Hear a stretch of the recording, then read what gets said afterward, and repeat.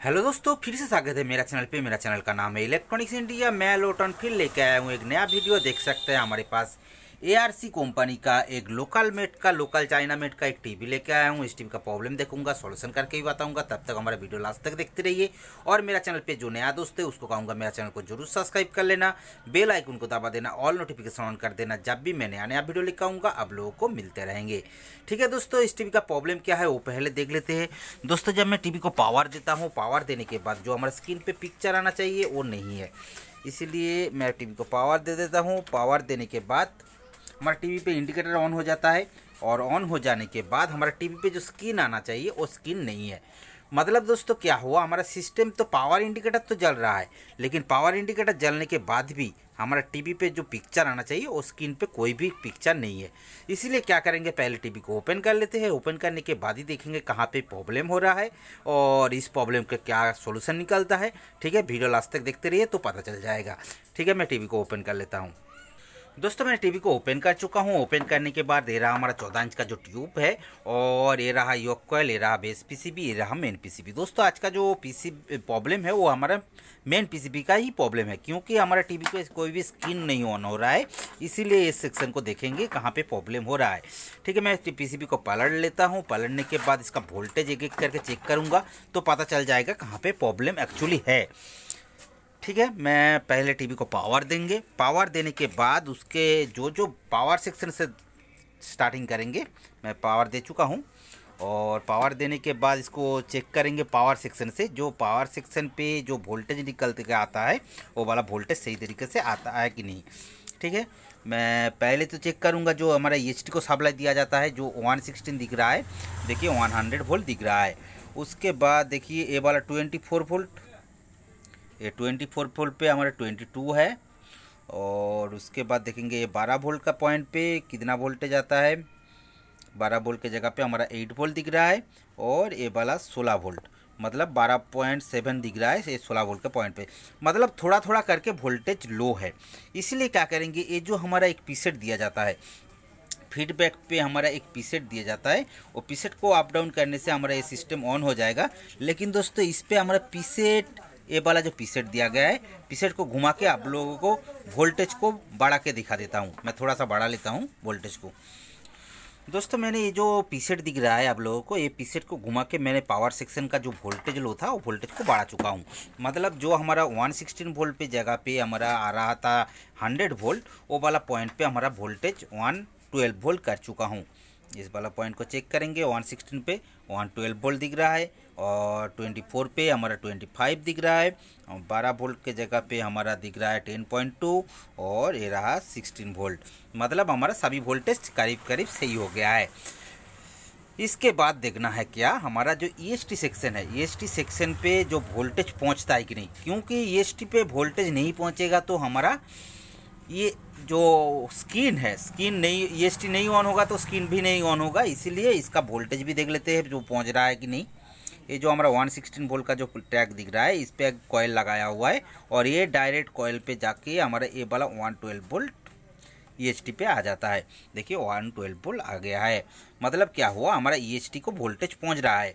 उसके बाद देखेंगे ये जो 180 जो हमारा पॉइंट दिया गया है, एक डायोड देके हमारा इस पर डी बोल्ट होगा, जो उस पर भी हमारा 112 वोल्ट ही दिख रहा है। क्योंकि ये जो इनपुट जो वोल्टेज हो रहा है, वही आउटपुट पे निकल रहा है। ई e नहीं ऑन है। ऑन ई e नहीं ऑन होने के कारण ही हमारा ये वाला 180 वोल्ट नहीं बन पा रहा है।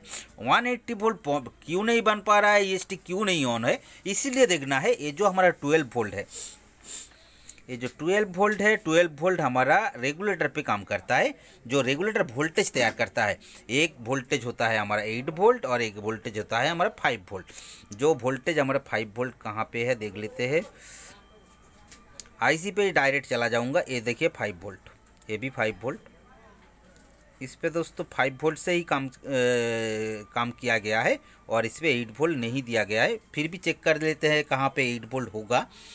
जैसे इस पर हमारा एट वोल्ट होना चाहिए, इस वाला पॉइंट पे नहीं है। इस पे चेक कर लेते हैं। इस पे पे फाइव वोल्ट है। दोस्तों, ये वाला फाइव वोल्ट से ही ऑन किया गया है और ये वाला जो फाइव वोल्ट दिख रहा है, ये जो फाइव वोल्ट फाइव वोल्ट पे चेक करेंगे इस वाला पॉइंट पे। देखिए, हमारा फाइव वोल्ट दिख रहा है। मतलब क्या हुआ? हमारे आईसी को स्टार्टिंग वोल्टेज और रनिंग वोल्टेज दोनों मिल गया है। ये हमारा हो गया स्टार्टिंग वोल्टेज सॉरी दोस्तों, ये वाला स्टार्टिंग वोल्टेज होता है। इस वाला पॉइंट पे हमारा स्टार्टिंग वोल्टेज होता है और रेगुलेटर को दोस्तों इस पे हमारा 8.9 है। ये हमारा स्टार्टिंग वोल्टेज होता है। इस पर एक रेगुलेटर लगाया हुआ है। रेगुलेटर पे हमारा फाइव वोल्ट तैयार किया जाता है, जो इनपुट होगा एट वोल्ट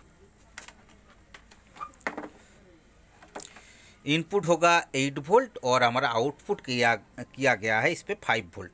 जो फाइव वोल्ट हमारा सप्लाई दिया जाता है,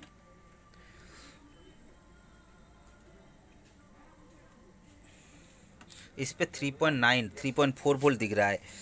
मतलब दोस्तों क्या हुआ, हमारा ये इफ्रोम को जो सप्लाई दिया जाता है, वो सप्लाई को चेक कर लेते हैं। जैसे इस वाला पॉइंट पे हमारा होता है, ये ग्राउंड होता है, और ये वाला पॉइंट पे हमारा इनपुट होता है। जो हमारा 3.4 वोल्ट दिया गया है 3.5 और H C L H D पे वोल्टेज भी चेक कर लेंगे। इस वाला पॉइंट पे हमारा एच सी एल होता है, जो सीरियल डाटा होता है, और ये सीरियल क्लॉक दोनों पे हमारा वोल्टेज है। मतलब क्या हुआ? हमारा इफम ऑन होना चाहिए। और ऑन होने के बाद ये जो हमारा H C L H D दिख रहा है, और इस पर हमारा सीरियल डाटा सीरियल क्लॉक आ जाएगा, और उसके बाद इस वाला पॉइंट पे हमारा फाइव वोल्ट रनिंग कर दिया जाएगा। इस पर लूज हो रहा है। फिर भी एक बार चेक कर लेते हैं इस वाला पॉइंट पे। देखिए फाइव वोल्ट आ चुका है, वो हमारा मीटर का कुछ लूज हो गया था और इस पर हमारा रनिंग वोल्टेज तैयार हो जाएगा फाइव वोल्ट देखिए फाइव वोल्ट मतलब क्या हुआ, हमारा आईसी तो रनिंग है, जो रेगुलेटर का वोल्टेज बोला जाता था, वो वाला वोल्टेज तो हमारा रनिंग है। उसके बाद देखेंगे, हमारा मेन आईसी ऑन होने के बाद भी हमारा ई एच टी क्यों रनिंग नहीं है। ई एच टी पे तो हमारा मेन वोल्टेज आ गया था, लेकिन वोल्टेज आ जाने के बाद भी हमारा सिस्टम पे जो पिक्चर होना चाहिए ई एच टी रन होना चाहिए, वो ई एच टी क्यों नहीं रन है? इसीलिए एक एक चीज़ को जैसे मैंने बोला, बोल रहा हूँ, उसको फॉलो कीजिए तो पता चल जाएगा। जैसे क्या होता है, हमारा मेन आईसी तो ऑन है। हमारा ई एस टी पे भी वोल्टेज ऑन है। लेकिन हमारा ई एस टी रन क्यों नहीं है? जैसे ही हमारा इस पर हमारा फाइव वोल्ट ऑन हो जाएगा, तब भी ये वाला एच चाउट जो बोला जाता है एच चाउट पे हमारा थोड़ा सा वोल्टेज जो फ्ली बोला जाता है, वो फ्लिप आ जाएगा। जैसे इस वाला पॉइंट पे देखिए 1.9 और ये डायरेक्ट जाता है हमारा कहाँ पे? ये जो एक रेगुलर ट्रांजिस्टर लगाया हुआ है यू सिक्स ज़ीरो थ्री इस पे आ जाएगा हमारा पहला नंबर पिन पे। ये पहला नंबर पिन पे देखिए रेजिस्टेंस दे के हमारा इस पे पॉइंट थ्री वोल्ट आ चुका है। और मिडिल वाला पिन पे हमारा वोल्टेज होगा और साइड वाला पे हमारा ग्राउंड होगा। लेकिन इस पे मिडिल वाला पिन पे जो हमारा हॉरिजेंटल कॉयल को रन करने के लिए हॉरिजेंटल आउट पे जो सिंक ऑन हो करता है, जो ट्रांजिस्टर वो ट्रांजिस्टर पे इस पे हमारा वोल्टेज होना चाहिए। लेकिन इस पे हमारा ज़ीरो वोल्ट दिख रहा है। ये वोल्टेज कहाँ से आता है, वो पता होना चाहिए, नहीं तो ढूंढते ही रह जाएँगे और इस पर सिस्टम ऑन नहीं कर पाएँगे। इसीलिए देखना है, ये वोल्टेज कहाँ से आता है। पहले ही बता चुका हूँ, ये वाला 110 वोल्ट हमारा आता है ई को। ये रेगुलेटर पे हमारा बारह वोल्ट का पॉइंट जाता है और ये वाला जो सोलह वोल्ट पॉइंट है, ये हमारा साउंड आईसी को जाता है। लेकिन ये जो हमारा ट्वेंटी फोर वोल्ट ये ट्वेंटी फोर वोल्ट कहाँ पे जाता है? एक तो ट्वेंटी फोर वोल्ट हमारा ये वाला वर्टिकल आईसी को सप्लाई दिया जाता है। देखिए और वर्टिकल आईसी पे आ जाता है वोल्टेज और यही वोल्टेज हमारा हॉरिजेंटल आउट जो कॉयल जो सिंक कॉयल कहा जाता है, वो कॉयल पे आता है। देखिए, ये जो रेजिस्टेंट भाया करके, ये देखिए जंपिंग करके रेजिस्टेंट भाया करके हमारा इस वाला पॉइंट पे हमारा twenty three volt twenty four volt आ चुका है। लेकिन इस पे पे आने के बाद इस पे जो वोल्टेज आना चाहिए एक कॉयल है। एक कॉयल और ये दूसरा कॉयल ये दूसरा कॉयल हमारा हॉरिजेंटल सिंक को जो फ्रीक्वेंसी देने के लिए काम करता है, लेकिन ये वाला जो कॉयल है, ये कॉयल हमारा वोल्टेज और फ्रिक्वेंसी को पाँच करता है।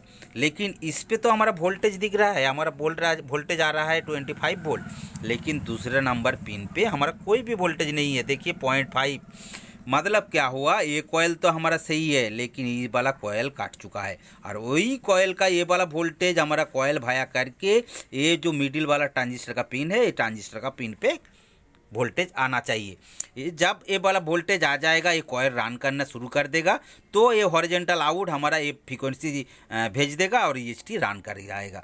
ठीक है? मैं क्या करूँगा? ये वाला कॉयल को ओपन करूँगा। ओपन करने के बाद इसको रिपेयरिंग करने की कोशिश करूँगा, लेकिन ये नहीं हो तो होगा तो एक नया वाला कॉयल या आप लोग कोई भी ऐसे वाला पीसीबी से ये वाला कॉयल को ओपन करके लगा सकते हैं। ठीक है? मैं क्या करूँगा? कॉयल को ओपन करके देख लेते हैं।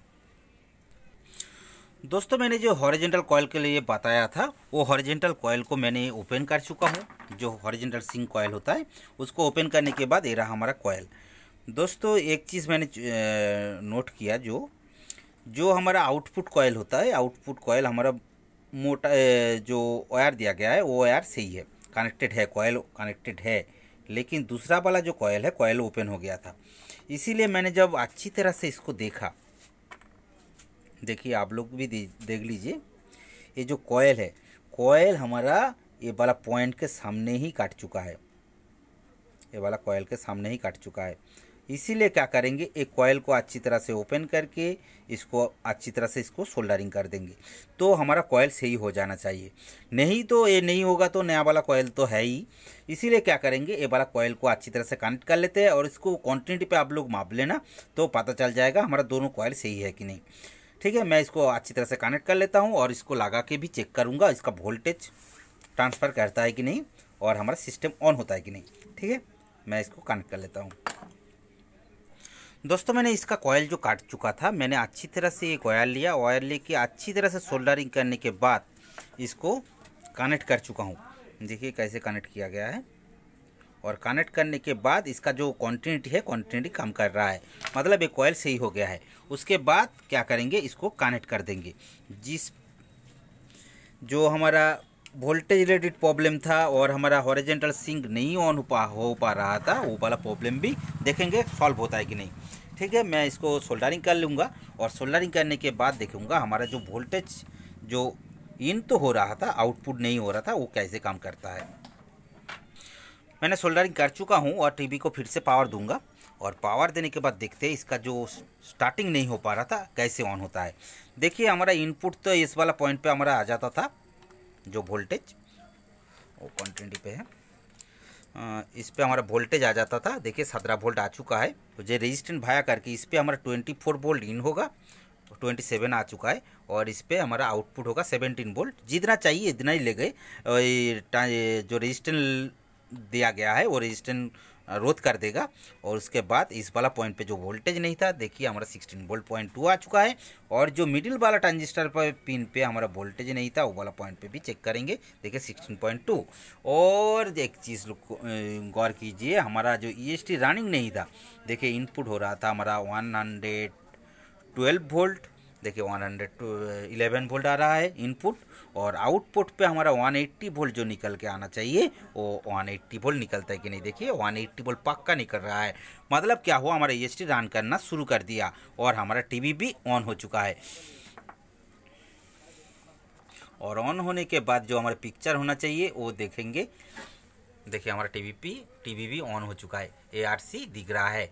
मतलब क्या हुआ, हमारा टीवी पे जो स्क्रीन का जो प्रॉब्लम था स्क्रीन नहीं ऑन हो रहा था, और स्क्रीन पे क्या हुआ, हमारा ई e नहीं ऑन हो रहा था, इसीलिए हमारा स्क्रीन पे कोई भी पिक्चर नहीं था, और जब मैंने चेक किया तो हमारा पावर सेक्शन सही दिख रहा दिख रहा था, और उसके बाद मैंने जब देखा तो हमारा रेगुलेटर भी ओके था, और हमारा आईसी से भी हॉरिजेंटल आउटपुट निकल रहा था, और हमारा पावर सेक्शन से जो ई एस टी है ई एस टी को भी वोल्टेज पहुँच रहा था, लेकिन ई एस टी नहीं ऑन हो रहा था। इसीलिए क्या किया, मेरा हॉरिजेंटल सेक्शन पे जो हमारा छोटा सा जो एक ट्रांजिस्टर लगाया हुआ था, जो हमारा सिंक के लिए, वो वाला ट्रांजिस्टर का मैंने जब मिडिल वाला पिन चेक किया तो मुझे पता चला इस पर वोल्टेज नहीं पहुँच रहा है। जब मैंने ये वाला छोटा सा कॉयल को चेक किया तो ये कॉयल काट चुका था। इसीलिए इनपुट हो रहा था वोल्टेज लेकिन आउटपुट नहीं हो रहा था और हमारा हॉरिजेंटल सिंक का जो मिक्सिंग होना चाहिए वोल्टेज के साथ, वो वाला पॉइंट पे मिक्सिंग नहीं हो पा रहा था। इसीलिए हमारा ई e नहीं ऑन होता ऑन हुआ था। इसीलिए कि मैंने क्या किया ये कॉयल को मैंने ओपन करके, ये वाला कॉयल को सही करने के बाद हमारा टीवी पे जो स्किन नहीं था, स्किन भी ऑन हो चुका है और हमारा कोयल का जो वोल्टेज रिलेटेड प्रॉब्लम था, वो प्रॉब्लम भी सॉल्व हो चुका है। ठीक है दोस्तों, इसी तरह का नया नया वीडियो मिलने के लिए मेरा चैनल को ज़रूर सब्सक्राइब कर लेना, बेल आइकन को दबा देना, ऑल नोटिफिकेशन ऑन कर देना, जब भी मैं नया नया वीडियो लेकर आऊँगा, आप लोगों को मिलते रहेंगे। ठीक है दोस्तों, मिलते हैं नेक्स्ट वीडियो पर, तब तक के लिए दोस्तों, गुड बाय।